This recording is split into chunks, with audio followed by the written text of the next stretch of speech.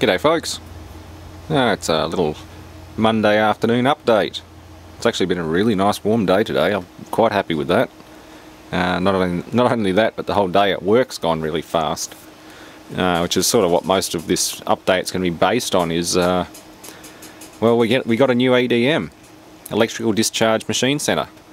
So, yeah, I'm just trying to look up information and stuff on it. I'll try and do a video of it in action and I was lucky enough to find photos of it, at least online. I mean, the um, the previous model, I couldn't even find photos of it. It was that old and that obscure.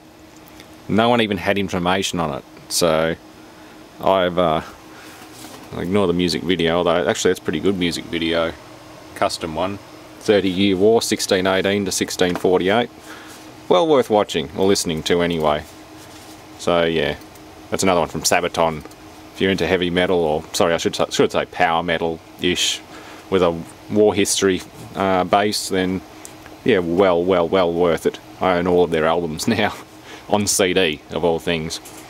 Believe it or not, someone still uses uh, physical media, because I can play it in the car. Uh, this is what I well, I was helping set up. Me and Terry, the guy I got the Ford and the RF welder transformers and stuff from, uh, we were setting this one up today and getting it working. And it's not a bad machine. It's just just started it and went. It, it wasn't like the old one which had spent ages just paddling up and down or maxing out the amp meter or anything like that. Even on the most basic random setting this thing went for it. Like it's good. So I'll definitely have to do a video of it in action and explain a bit more on how they work. But it's basically erosion through direct current now that's, that's the spindle from the old one, or sorry, the head assembly. And the old one was hydraulically driven, the new one's ball screw thankfully, and a servo motor.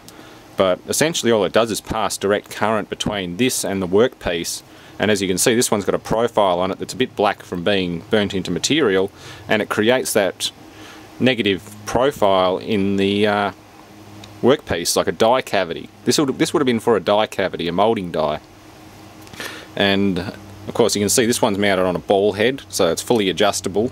You just tweak those screws to rotate it around. Uh, unfortunately I was thinking this chuck might be workable on the one we've got but it's not.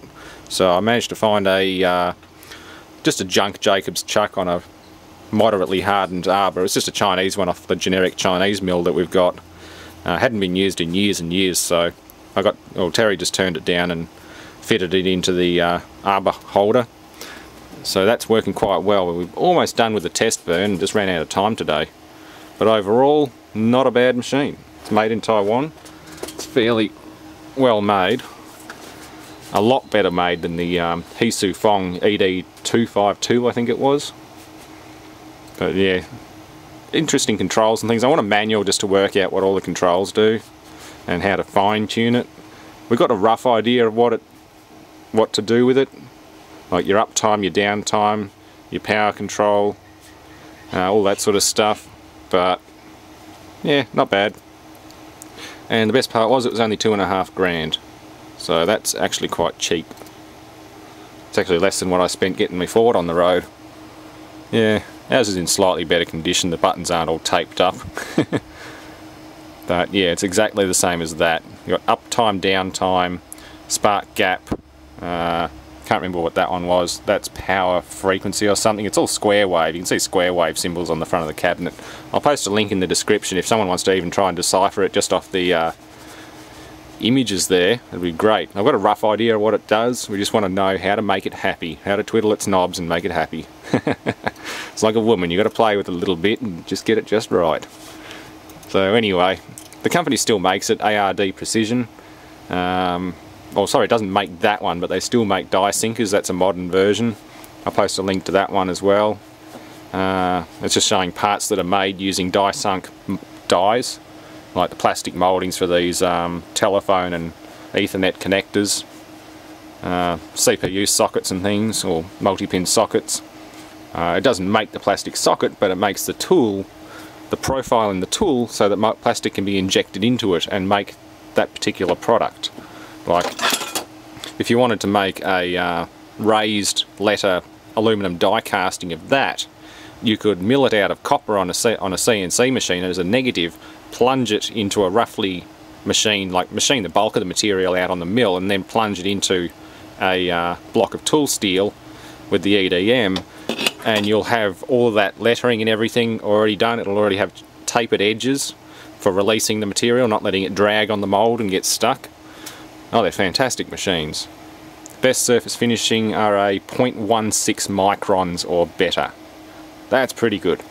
So anyway, there's a bit of information for you. I'll talk to the boss and see if I can do a video on it. Um, he's also given me the old chuck that I replaced today, which is a 250mm D16 Camlock. Uh, it's actually made by TOS, which is a pretty good company, TOS. But the scroll is worn to the point where there's 0.2 millimeters or 0.25 of slop in it, and you just can't center it. Like it's always the material bar stock's running out 0.25 millimeters. So that'll be a good autopsy and a good demonstration because a few people have asked me how to put how to reinstall chuck jaws and things like that so I'll give you a few tips and things on it before I throw it in the steel bin. Uh, it's pretty much junk, I wouldn't put it back on a machine unless you're really into rough hobby stuff but again it's too big to be of any use on a hobby lathe so it's a full, it's a full 250 millimeters and weighs a ton so I wouldn't recommend using it on a hobby lathe but eh, who knows they do make good work holders but I've already got two floating around for that same with work, I think we've got one or two floating around that we can bolt to the mill table and use to hold round bar. But yeah, you can only go so far. So anyway, we've got the new machine in. The old one's outside, so I've got to get onto that table and spray some oil over it, stop it from rusting. Um, not sure what to do with it. The old XYZ table from the dead EDM. Uh, I'll at least take the trailer and get it, and then I can decide whether I take it off and use it myself or give it to someone else. It would probably be good for a homebrew small table laser cutter or something like that but you've only got so much travel. You've only got like 300 mil of travel each way on the DRO scales. So it's basically 300 by 300 working area or 300 by 600 or something or 300 by 500 or something like that. So it's not the most practical for a, uh, a cutter uh, yeah anyway a little bit more to work with. I've got a mate's laptop in. Uh, I might do a separate video on that one. Apparently his son kind of messed it up, so I want to have a look at that for him. It just beeps a code and doesn't even light up the, the display.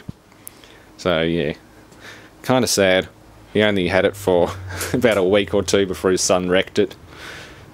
Sad part is, he's about my age, but he just doesn't know anything about computers. I don't know what he did to it. I think he said he might have accidentally spilt something on it.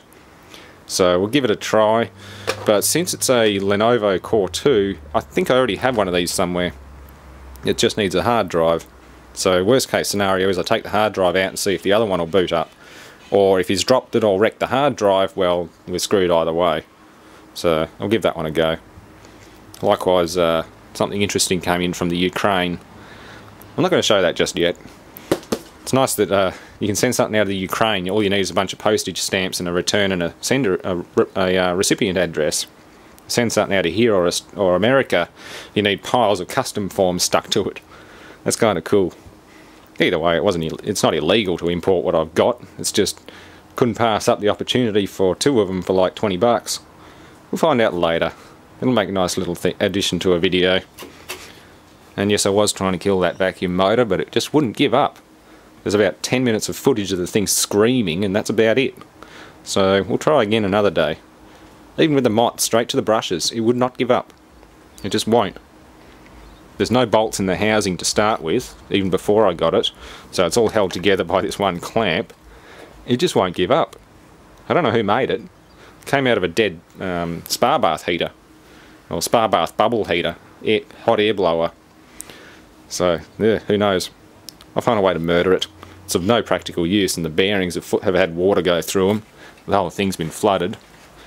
You know, it came out of a flood damage area, or they overfilled, the overflow failed and all flooded back through the air bubbler tube and filled the thing up with water.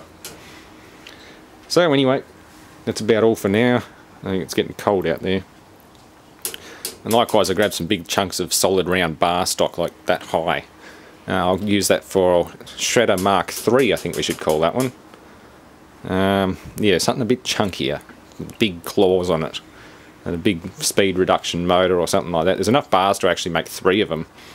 So I couldn't pass that one up. Nice big tool steel or free machining steel solid bar.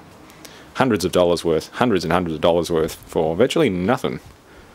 Anyway, I think that's about all for now. There's another gizmo there I want to try out, but unfortunately I need incandescent lights over here because the 50 hertz or 100 hertz flicker from the fluorescent lights interferes with the sensors. Um, I might as well show you what it is. Some of you already know what it is, but it's a chronograph. It's meant for uh, sport shooters, but I've got another use for it. Let's see how fast a um, popped capacitor is going.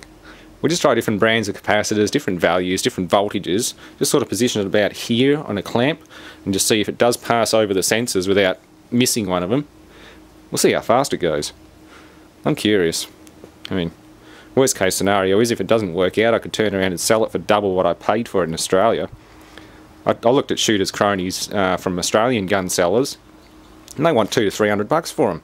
This was a hundred bucks off eBay, brand new in the box. I don't know. I don't know where they get off selling them that much.